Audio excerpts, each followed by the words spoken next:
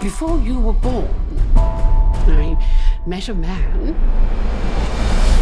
and now I've come into the possession of a villa in the south of France. What? Three, two, one.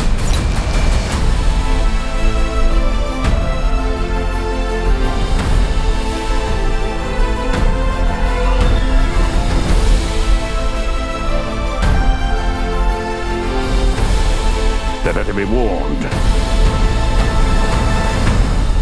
The British are coming.